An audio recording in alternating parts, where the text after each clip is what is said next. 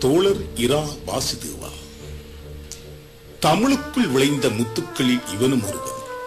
கழகத்தின் பெருமைகளை உறக்கச் சொன்ன உன்னத கனியன். தமிழ் உணர்வோடு ஏறிய படிகள் ஏராளம். இவனது பெயரோ பொன்னெழுத்து பொறிப்பதற்கு தாராளம். தமிழரசு கட்சியின் தன்னிகரில்லா தொண்டன். தமிழ் இளைஞர் பேரவையின் தலை சிறந்த செயலர். ஆடிக் கலவரத்தில் அழுதுவிட்ட தமிழர்களை அரவணைத்தாக்கிய பணிகளோ ஏராளம். மலையக பாட்டாளி மக்களின் மறுவாழ்வுதனை காந்திய மூடே நிறைவேற்றிய பெருமை உந்தனுக்கே. தமிழீழத்தின் குரல் வானொலி தந்து தமிழன் குரல் செய்தித்தாளின் தரமிகு ஆசிரியனாகி தமிழகமெங்கும் எமது கொள்கைகளை பரந்திடச் செய்து தமிழர் பிரச்சனையை தீர்ப்பதற்காக திம்பு பேச்சில் பங்கு கொண்டான் முஸ்லிம் மக்களின் நலம் காக்க முனைப்புடன் முயன்றவனே என்று முன் வரலாற்று நினைவுகள் கல்லின் மேல் இட்ட கலமாகும்.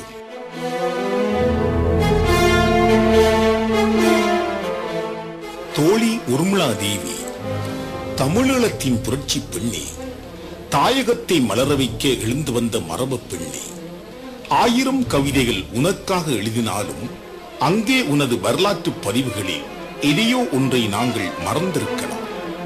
உலகம் ஒரு நாள் நட்பொழுதாக விடியும் போது அங்கே பல பதிவுகளை மீளாய்வு செய்ய வித்தகர்கள் வருவார்கள். அங்கே உன்னை போற்றிய வரிகள் போதாது என்று உன் வரலாற்றை சொல்வார்கள்.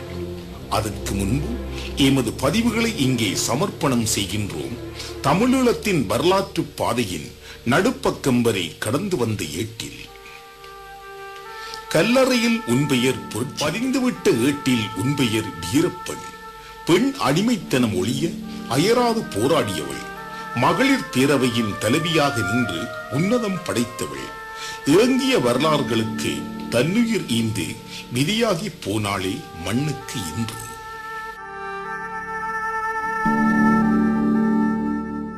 தோழர் சங்கிலி கழகத்தின் ராணுவ பிரிவின் தென்னிலங்கை பொறுப்பாளராகவும் மத்திய குழு உறுப்பினராகவும் செயல்பட்டவர். சமூக மலர்ச்சிக்காகவும் விடிவுக்காகவும் அயராது பாடுபட்டவர். தோழர்களை பல வழிகளிலும் புரட்சி பாதையில் வளர்த்து வழி நடத்துவதில் பெரும் பங்காற்றியவர். முள்ளிக்குளத்தில் கூலிப்படையுடனும் அவையுடன் கைகோர்த்த குழுவுடனும் நேரடி மோதலில் சக போராளிகளை காப்பதற்காக இறுதி வரை போராடி வெற்றி கண்ட போராளி இவனென்றால் எதிர்கூற எவருமில்லை இவ்வுலகில். தோழர் கண்ணன். காலங்கள் உனது பதிவுகளை புதுப்பிக்கின்றது. கல்லறையோ உனது பெயரை மீளாய்வு செய்கின்றது வரலாறு என்பதை எல்லோரும் பெற முடியாத ஒன்று. அந்த புனிதமான வரலாற்றுக்குள் பதியப்பட்டதே உன் பெயர். தமிழீழ போராட்டம் ஏகாதிபத்தியங்களுக்கு எதிரான போராட்டம் என்ற முழக்கத்தை முதன் முதலில் முன்வைத்தவர். ஆயிரத்தி தொள்ளாயிரத்தி எண்பதில் ஏகாதிபத்திய சார்பு ஜே ஆர் ஆட்சியுடன் மாவட்ட சபைகளுக்கான ஒப்பந்தத்தை எதிர்த்து சுந்தரத்துடன் இணைந்து குரல் கொடுத்தவர். தமிழ் அகதிகள் புனர்வாழ்வு கழகம் காந்தியம் போன்ற அமைப்புகளால் உருவாக்கப்பட்ட குடியேற்றங்களில் கடுமையாக உழைத்தவர். பாட்டாளி வர்க்கத்தின் தோழனான இவர் மார்க்சிச கோட்பாடுகளில் அதீத நம்பிக்கை கொண்டு செயல்பட்டு இம்மண்ணுக்காக உயிர் நீத்தவர்கள் வரிசையில் இவரும் ஒருவர். மாணிக்கம் தாசன் அக்கினி தீயோ இல்லை அதுவும் அணைந்துவிடும். அடிக்கும் புயலோ இல்லை அதுவும் அடங்கிவிடும். இடிக்கும் இடியோ இல்லை அதுவும் நின்றுவிடும். கிழக்கே உதித்து மேற்கே மறையும் இவனே அந்த சூரியன். வேர்கள் இல்லாத மரமா இவனும் சாய்ந்து விடுவதற்கு. வேர்வை சிந்தும் உழைக்கும் வர்க்கமே இவனுடன் தோழனை. அலைகள் தன்னை பார்த்தாயா? களைத்து ஓய்ந்ததை கண்டாயா? படைப்பினில் இவரும் ஆயிரம் ஆண்டுக்கு ஒருவன் வருகை அறிவாயா? போர் பயிற்சி காலத்தில் பாலஸ்தீன போராளிகள் வியந்து போனார்கள் அன்று இவன் வீர வீர செயல் கண்டு. கழகத்தின் ராணுவ தளபதியாக இவன் இருந்து படைத்திட்ட வீரத் தொடர் என்ற வரலாறு வையகம் உள்ளவரை சொல்லப்படும். அச்சம் என்பது இவன் அறிந்திடாத அர்த்தம் தெரிந்திடாத ஒரு வார்த்தை. அதுவும் இவனை நெருங்க அஞ்சியே ஓடிவிடும். இவன் கால்தடங்கள் போன பாதை வழியே நாம் சென்று எம் பணிகளை தொடர்வோம். வாழ்ந்திடும் வீரன் வரலாறு வாழ்வதில்லை கோழையின் சீல்பாடு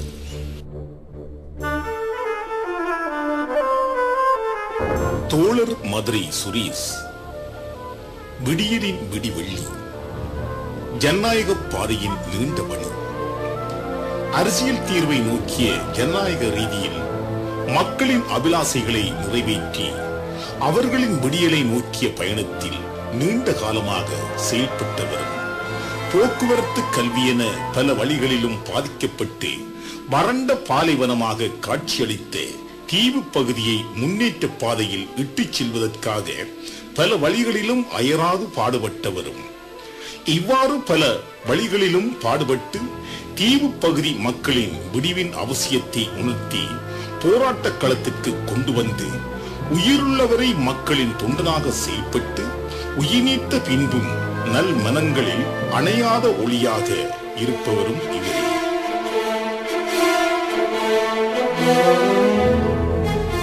தோழர் நடேஷ் மாஸ்டர்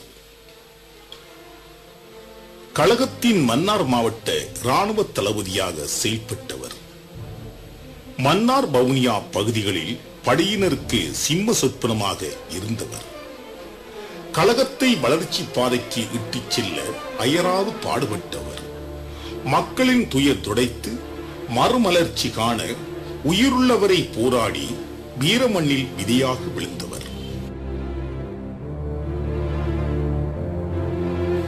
தோழர் வோல்டர் யாழ் மாவட்ட அமைப்பாளராகவும் மாநகராட்சி மன்ற எதிர்க்கட்சி தலைவராகவும் யாழ் மத்திய கல்லூரி அபிவிருத்தி சங்க செயலாளராகவும் சிறந்த சமூக சேவைகளாற்றிய கழகத்தின் சிரேஷ்ட உறுப்பினர் தோழர் வோல்டர் தனது இறுதி மூச்சு வரை மக்கள் பணியில் எதிர்வுகளை எதிர்கொண்டு முனைப்புடன் செயல்பட்டவர். திருப்பதி மாஸ்டர். பன்செயல்களால் பாதிக்கப்பட்ட மலேக மக்களை வடக்கு கிழக்கில் குடியேற்றும் நடவடிக்கைகளில் காந்திய அமைப்பில் இணைந்து முன்னின்று செயல்பட்டவர். ஆயிரத்தி தொள்ளாயிரத்தி எண்பத்தி ஒன்றில் வடக்கு கிழக்கு எல்லைப்புற கிராமங்களில் தமிழ் மக்களை குடியேற்றும் பணிகளில் தன்னை முழுமையாக அர்ப்பணித்து செயல்பட்டவர். ஆயிரத்தி தொள்ளாயிரத்தி எண்பத்தி மூன்றில் கழகத்தில் தன்னை இணைத்துக் கொண்டு தமிழ் மக்களின் விடிவை நோக்கிய அரசியல் பயணத்தை தொடர்ந்தவரும் சிறந்த சமூக சேவையாளரும் ஆவார். தோழர் கிளியன். கழகத்தின் வழிகாட்டலில் மக்களின் முழுமையான விடிவை நோக்கிய பயணத்தில் முன்னின்று உழைத்தவர். வவுனியா மக்களின் பாதுகாப்பு அபிவிருத்தி என்பவற்றில் அக்கறை செலுத்தியவர். எல்லை கிராமங்களை பாதுகாப்பதற்காக அங்கு மக்களை குடியேற்றும் பணிகளில் மும்முரமாக ஈடுபட்டு வந்தவர். ஆயிரத்தி தொள்ளாயிரத்தி தொண்ணூறில் வவுனியா பிரதேசம் மேலும் பாதிக்கப்பட்ட போது அமைப்பினால் மேற்கொள்ளப்பட்ட மீள் கட்டுமான பணிகளிலும் மீள் குடியேற்ற நடவடிக்கைகளிலும் ஈடுபட்டு வந்தவர். சமூகத்தின் வளர்ச்சியிலும் வவுனியா மாவட்ட அபிவிருத்தியிலும் மிகுந்த அக்கறையுடன் தனது பங்களிப்பை வழங்கி வந்தார்.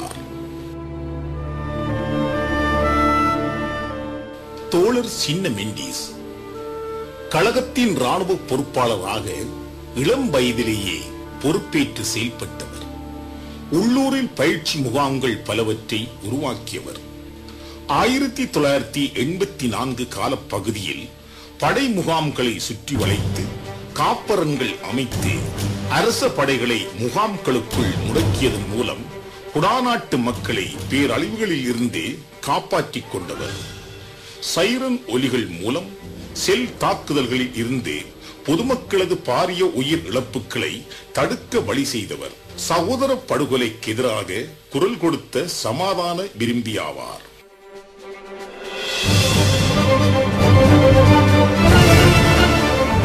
தோழர் வசந்தன்.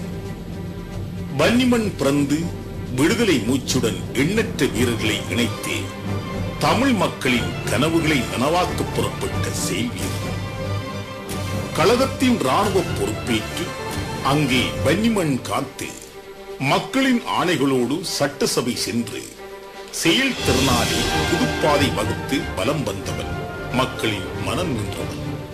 என்றும் விளையும் நட்சத்திரங்கள் ஒன்று சேர்ந்தாலும் ஓர் நிலவு ஆகாது என்பது போல் அவனது நேரிய சிந்தனையும் செயல் திறமையும் என்றும் உயர்ந்ததே என்று உலகம் பேர்